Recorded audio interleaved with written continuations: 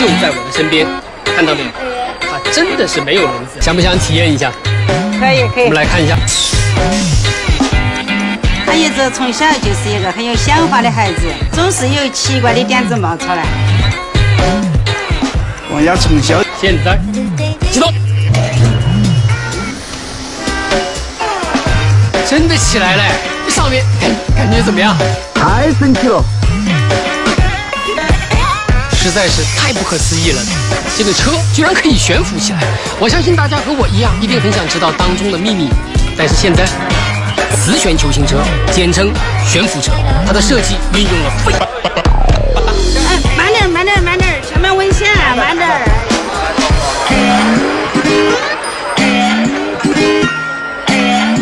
从来没见过这样的汽车，就好像是。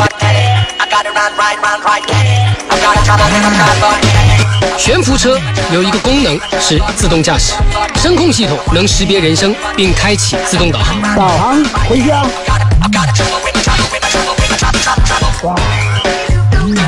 悬浮车还有一项特别的功能，就是它的安全感应器。它能根据自身行驶速度和周围车辆的距离，计算出最安全的行驶距离。可能发生危险时，汽车就会自动刹车。